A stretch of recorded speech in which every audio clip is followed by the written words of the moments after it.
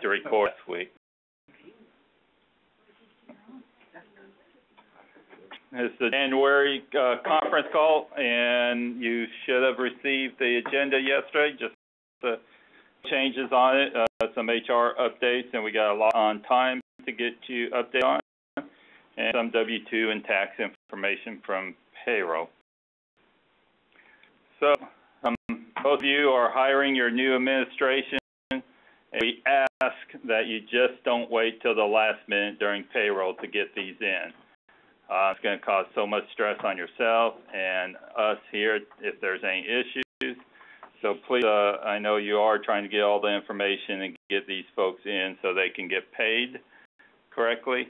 Um, I want to remind you about the secretaries and council of state employees that the salary wage type you should be using on them is uh, 1012, uh, 12.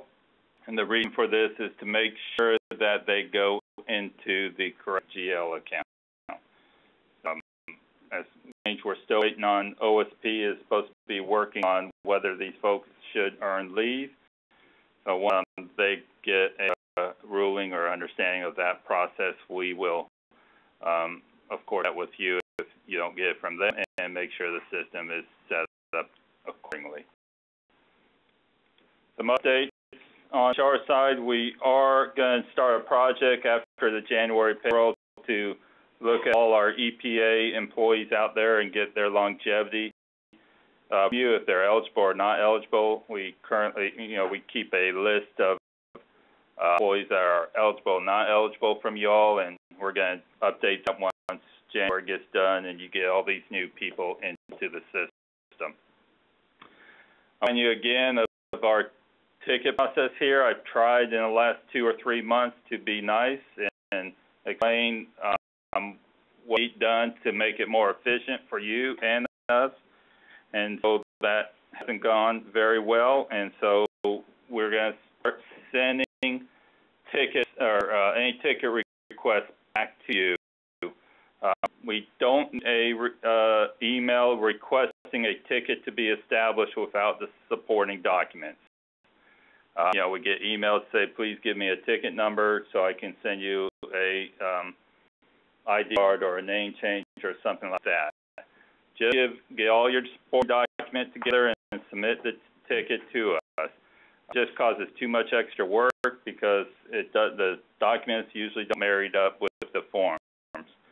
We want one tip, one document per fax, one employee per fax, employee or one issue per, ticket if you're emailing it to us. Our is this new ticket system we have is can be automated. So as soon as you send that in, we can automatically create the ticket and we have less people touching the ticket and the ticket and information will get quicker to the people that are going to fix the issue. So please um, help us with that again. Um, we will may get an email to tell you to resubmit the ticket or request in. So um, if you get that, please understand we're just trying to be more efficient here. Uh, a reminder about NC Flex annual enrollment, you know, as your uh, monthly employee look at their paychecks this month, they're going to realize they screwed something up. And so um, OSP, or messed something up, I guess, proper way, messed up. So OSP will OSP has given us um, guidance and that we could we can go ahead and fix flexible spending accounts without approval.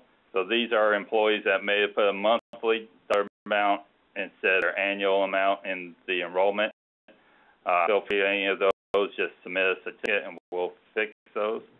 Um, other issues, they forgot to enroll in dental or they forgot to enroll in their flexible spending account uh, needs to go to OSP first. So send it to OSP for their approval, and once you have their approval, um, submit it. We'll make necessary corrections or help you with that. I think in November we were working on some reports here that we want to help monitor and help you um, make sure the data in the system is accurate. And I told you we were going to start them at the beginning of the year and here's some reports we're starting to do this month. Um, our first one I call terminate employees in an active position. So what's here is when you go and terminate the employee, occasionally you're doing something or a security issue where you're not delimiting them out of the position they're being held in. So we're trying to identify these people and either fixing them for you or contacting you to get them fixed. The report we're running is retirement actions not on the first of the month. Occasionally, and more often than you, more often than I think should happen, you are re- separating a person with a retirement action, and the effective date of the retirement action is not the first of the month. Uh, you're doing this because you're in the PCR using the wrong date. Retirement actions have to be effective on the first of the month. When you don't do that, you're either going to get extra day. You know what we see, you're making the PCR effective uh, uh, first, and then when the action happens, it gets a February second date, and they get paid the extra date. Or you're forgetting there's 31 days in January, and you're separating them on January 30th and the separation action then is effective January 31st and not getting paid for a day. So uh, we're monitoring that and, and, and contacting you to help fix that. Third report we're looking at salaries not rounded to the whole number. According to OSP policy, all salaries should be whole numbers. This is when you hire somebody with 50 cents or 20 cents or something like that, and we'll contact you to get it corrected. The report we're looking at is unemployment records, um, info type 20, 207, not, not with the correct agency. So what we're doing here is that you're not saving the info type 207 when it pops up into the higher action or the re, usually the reinstatement action. So this is somebody that may have worked for uh, agency like HHS, for example, and um, you know, hires the person, and when the info type uh, 207 pops up, you're saving it and you're carrying on. And what happens here is just the uh, Employment Security Commission doesn't get the correct information on this employee. So this quite often, and um, we you know average about 20 to 20 or 30. Info type 209, not 207. And we'll be um, correcting this and getting with you to correct it. Another report we're going to do is uh, FML actions greater than 90 days. Um, you know, typically most employees can only be on FMLA for 12 weeks. And um, um, we're going to just send this information to you to ask you to change the action. What happens on these is, you know, then continue to get their free health insurance from you and continue to get other, you know, from you that they shouldn't be getting, that they should on a different action. Uh, you know, when we read recently, there's people back in August of, you know, in July and May of last year still on an FMLA action. report we've been running and continue is uh, info type 27, this cost distribution record, active um, uh, active cost distribution record on an active employee. Uh, as when you separate somebody and um, a new a info type 27 is created in case you have any payouts. After it's separated, it goes to the correct cost distribution record when you rehire the person and you save the info type 2, it's supposed to submit the cost distribution record. And if it doesn't, or you don't save info type 2, which is mostly the case, that info type stays active, and instead of the money coming from DHHS, it's going to wherever the old agency was, and the old agency is paying for this person. We're trying to um, that and correct those as needed. What we're running in-house is uh, PA, what we call PAOM position, position mismatch.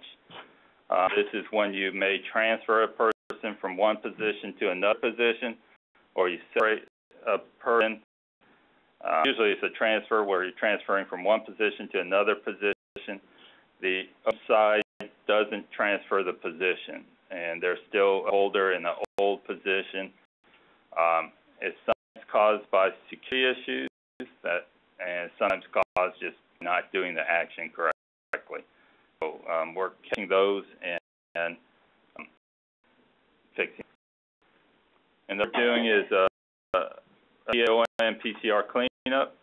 That's supposed to say previous quarter. I did not finish my sentence. Um, so we look at the previous qu quarter and look at any outstanding PCRs, OM, uh, or OM PCRs that are out there, and we either complete them, contact you, and cancel them, or whatever the case might be. Um, we're looking at any PCRs that are older than October 1st, um, and seeing if we can get rid of them.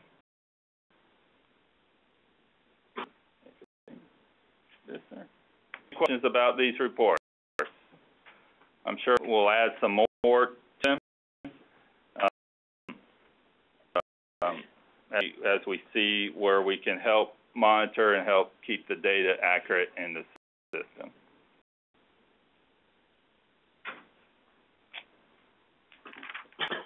All right. We're going to move on to a bunch of time information we have for you. Randy? Okay, good. Uh, this is Randy Hill. I'm going to be introducing three time quotas that were in production last Friday. Callback comp, quota 3, emergent closing comp, quota 27, and incentive leave, which is quota 29. I want to point out that these are new quotas, but the policies haven't changed. Uh, they're new quotas for existing policies. So the first look at is uh, quota 23, callback comp. Uh, the provisions for this are covered in the on-call and emergency callback pay policy.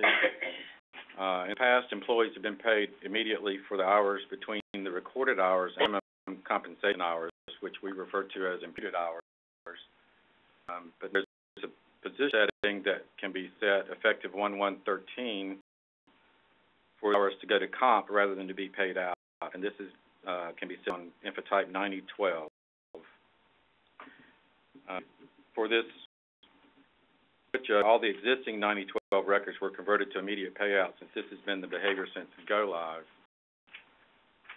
Um, but, uh, sample of the new position setting looks like it's very similar to all the other position settings that have comp a limit um, option on it.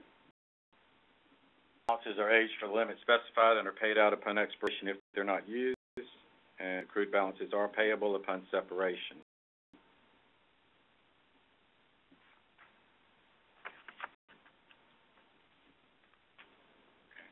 Uh, the quota we want to introduce is emergency closing comp. This is uh, covered in the last section of the adverse weather and emergency closing policy. Quota 7 is valid from January 1st, 2013 forward. Uh, what happens now that if you key work hours using attendance absence code 9514, which during emergency closing, this is going to generate an hour for hour comp time that will go into quota 27. Uh, aged for a year, but they're not payable. So if, if they're not used in the hierarchy, then they will expire.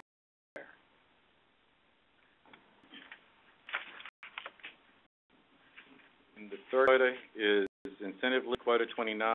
This is a policy that was effective January 1st of 2011. Um, it was granted to eligible new hires by way of an infotype 2013 entry. Um, there is a separate quota for this. So if you granted an employee incentive leave in the past and you've been tracking it offline because the quota wasn't available until now, please ticket with BEST or give us a call. We can let you know how the best way to update the employee's record.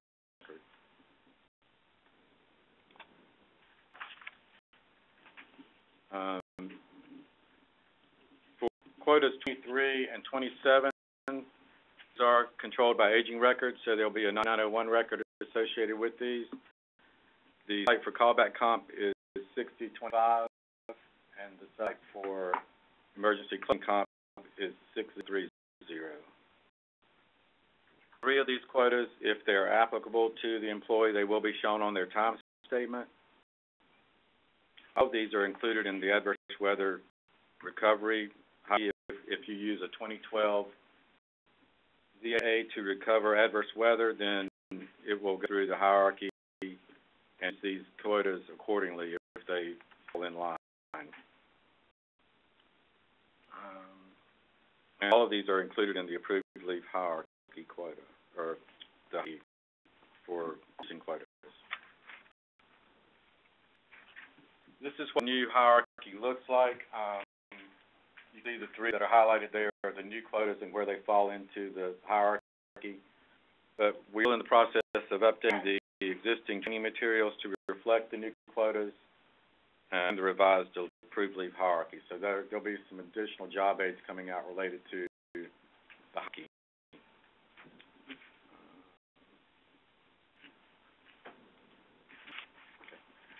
And as normal information is available through the job aids, a lot more details available. I know a lot of this, a lot of you may be seeing this for the first time. This was just production last Friday. The job aids were posted to the last Friday, but you see those, uh, there are links to each of those. Uh, they are under the time section, time management, section the job aids. Um, and we just you to just review and if you have any follow-up questions, to submit a, submit a ticket or give Best a call to try to get those questions answered.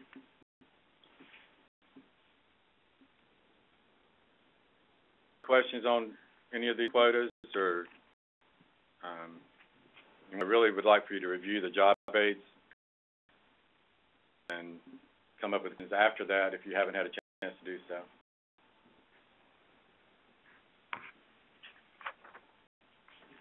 Also, uh, um, oh, I'm sorry, is there an attendance type leave code for incentive leave? No, there's not. It's Yeah. just a normal nine thousand. Right, incentive leave, like all the rest of them.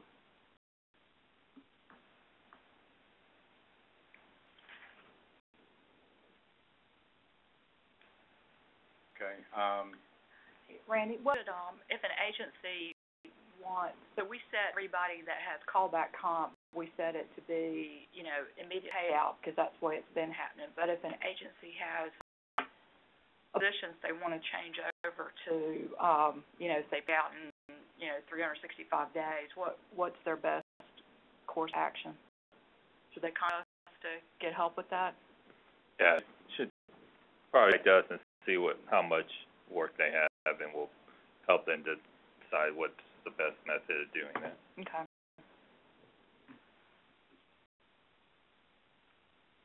there are also two new BI reports that are available. Um, Um, go two fifteen is the FMLA overview. And you can see the role there as to who has access to this report. Pro- Provides information about the total amount of FMLA leave, when eligible, eligibility begins and ends, the number of hours used, and the number of hours remaining. Agent will be able to monitor FMLA events and track the hours associated with the event. And also, the two seventeen is comp aging with estimated payout costs. Uh, is that, know, is that roll? No, that's wrong. Okay. Um, this slide to, to show the correct role for that. Um, but this reports remaining comp time balances with estimated payout costs for subject employees. The estimated cost is based on the employee's estimated FTE hourly rate. Be located on the BI time tab, uh, but in, you know, until you request access for these reports, you see them on your, on your list of options. And to do this, you use the normal procedure routed through your agency's data owner, owner. And we're, um, with the new quotas that have been added, we're still in the process of updating the BI reports to reflect these new quotas.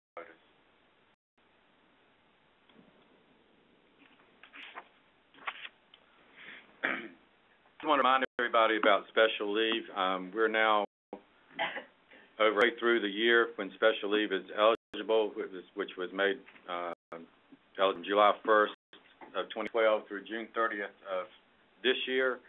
Uh, so just, you know, reminder that that code ninety-seven eleven will not work after June thirtieth, so. A lot of people across the state that have not used ninety-seven eleven or have some type of balance left, and I'd encourage you to use BAL to determine who has the remaining balance. You can use the T series, uh, TSLR, which shows remaining balance. You, you know, you need to advise your employees to use this before expires.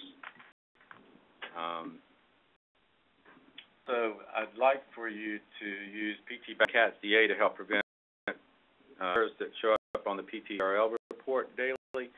This morning, we sent out three hundred and seventy-five errors to the field, and three hundred and thirty-one of those were special leave. So there's still quite of, uh, misuse of code, and it um, needs to be monitored a lot more closely than it has been. Um, we'll be glad to help you with that if you have any questions on some, to do that, but, uh, remind you to review the debate for special leave, which has all this information about how to use CATS DA and PT BAL, to the usage and how to prevent errors from occurring. Right. And the last thing that I have is I want to advise you about some adverse weather that's expiring in January and February. There's not a whole lot in January. There are only nine employees actually affected. But in February, there's 189, so, and I know this, this is six weeks away from it ex- expiring, but our next conference call is on the third Tuesday of February, which is the 19th. That's also payroll initialization, so that night, Tommy of will run through the end of the month, and others will appear on 220 if these aren't taken care of. So, want to be proactive in, in getting with your employees to uh, make up their time or either agree to how they're going to make it up with the 2012 ZAWA. There's our report B0210, adverse liability report to see who has liabilities expiring. And I encourage them to make up their time before payroll rolls around. That's And for Randy,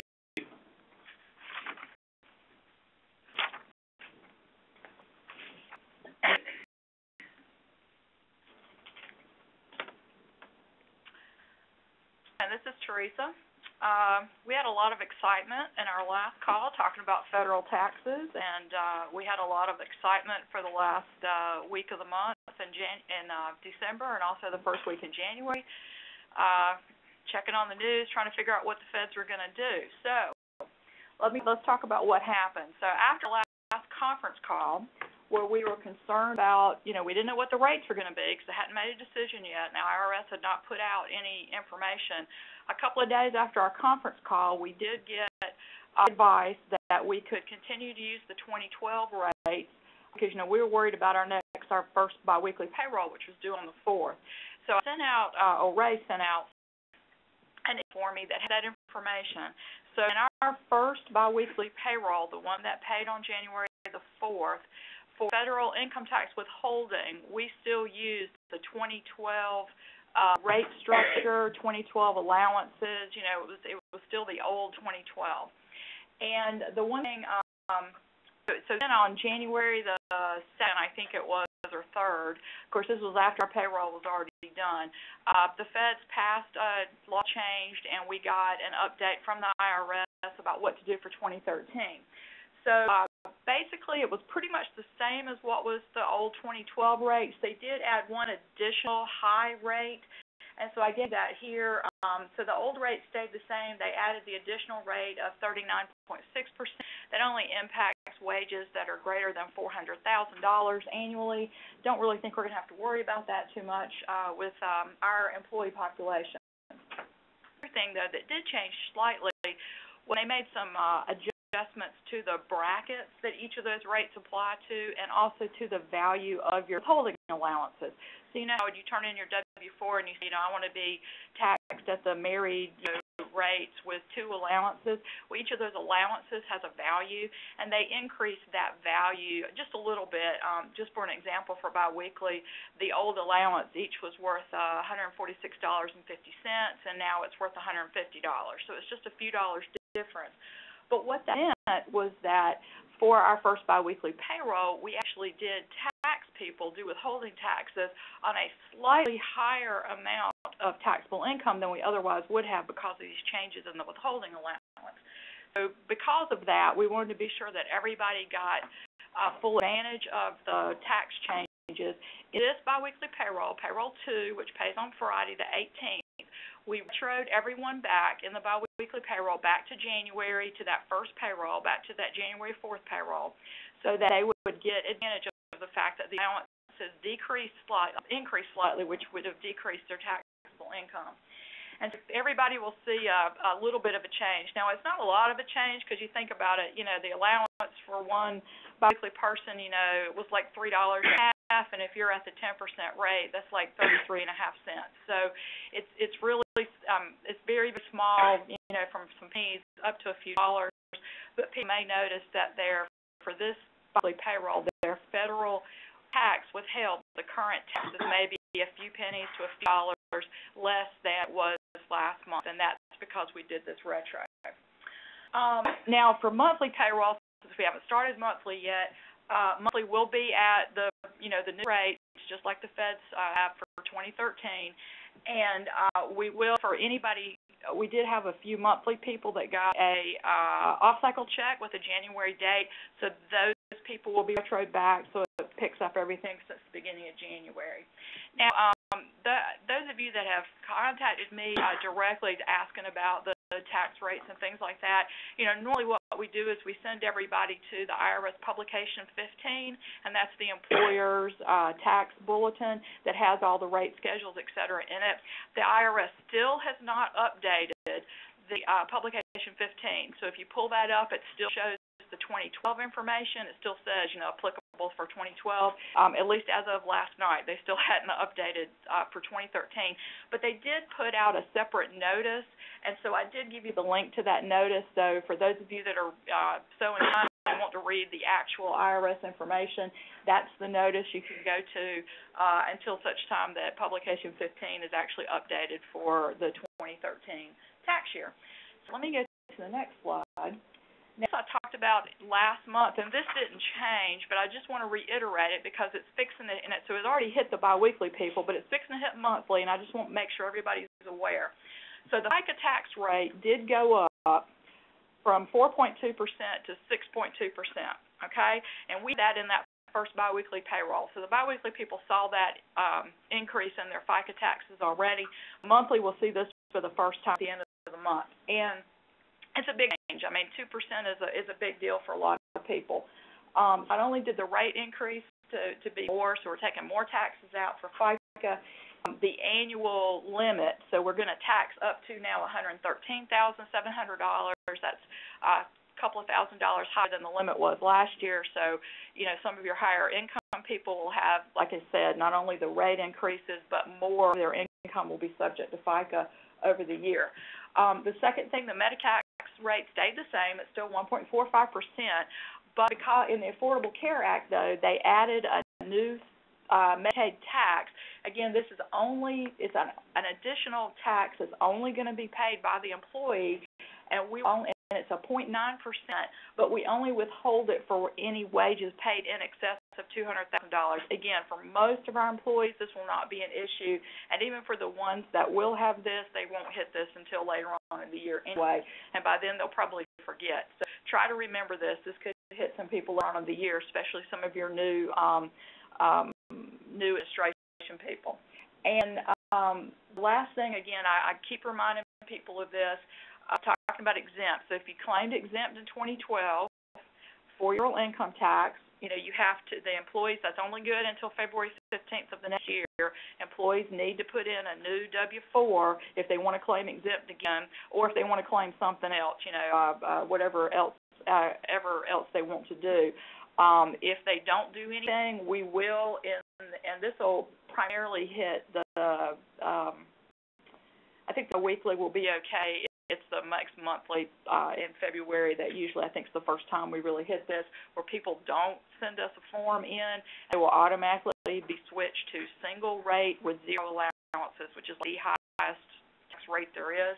So we are continuing to try to contact people that haven't sent us forms um, or, or we haven't seen where they've sent you one there in, in HR and you haven't entered anything recently either. So we, we will uh, keep pushing on this until, again, mid-February to make sure that nobody gets surprised by that.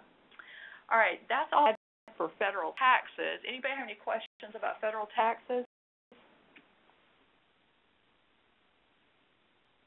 One I will mention, we do have um, on the check stubs. I know a lot of people don't read those, but if somebody does, we do have uh, a statement on the check stub for the biweekly that talks about, you know, the change in the rates and how their pay is retro back to the January 4th pay.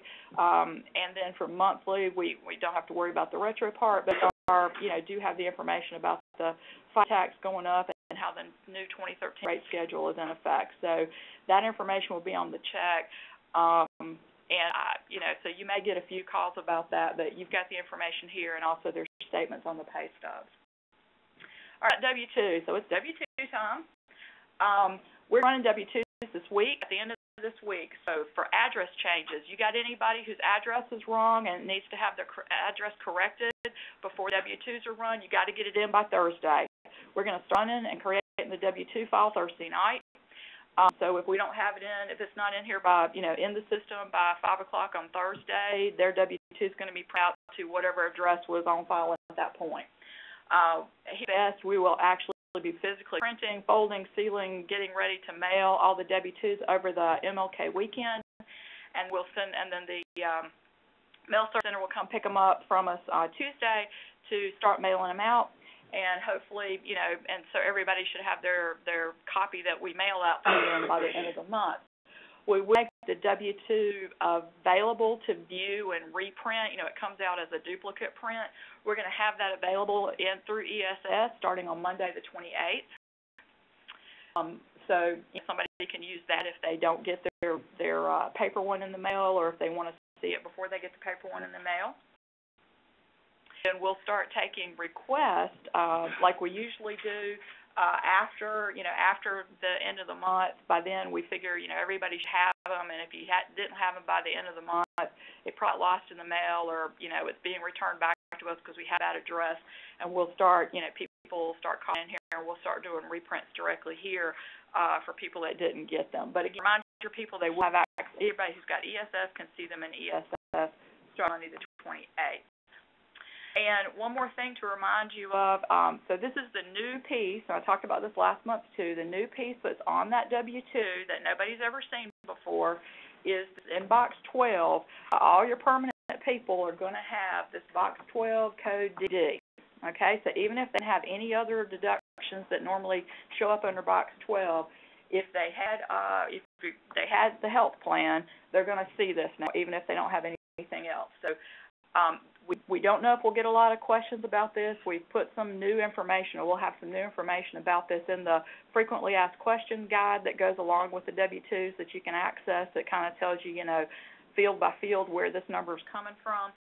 The new piece is, is, uh, is part of the, again, part of the Affordable Care Act says that we have to give people for information, and it is just for their information only. It's not taxable uh, or anything like that, but for their information what is the value of their employer-sponsored health care. And the definition of employer-sponsored health care is probably not what you think it is, so I want to be sure you knew what this was here. Um, is based on, again, this is based on the IRS rules, and this was determined here at the state uh, by the flexible benefit plan and the state health plan people. It is the employee and employer premiums for the state plan the NCFlex Critical Illness Plan and the NCFlex Cancer Plan. Okay, so um, because it's the employee and employer cost, it doesn't tie to anything that's on your pay stub, right? Because you don't have employer cost on your pay stub. Uh, but for your information, um, you know, the monthly cost for the state health on the employer side was $410.94 January, you know, March, April, May, and then it moved to $432.66 from June through December. Um, it gives you about $5,083.32 annually. So if someone just had the 70/30 plan, employee only, and didn't have the cancer plan or the critical illness plan, and they were an employee for the entire year, they have $5,083.32 sitting in that box twelve, uh, DD, uh, category. Again, you know, people have all different, you know, they could be here for part of the year, they could have, uh, different levels of coverage, uh, you know, fa- family, you know, high-low, uh, child only. So we may see, it could vary greatly from employee to employee. And again, just, if people ask you about it, just remind them, it's just for their information. It is not taxable. It's just a new requirement, and we don't know what's gonna happen with this down the road with the Affordable Care Act, but we have to put on starting this year. And that's my W two update. So again, we'll be running W twos this weekend. Great. Anybody have any questions? Our,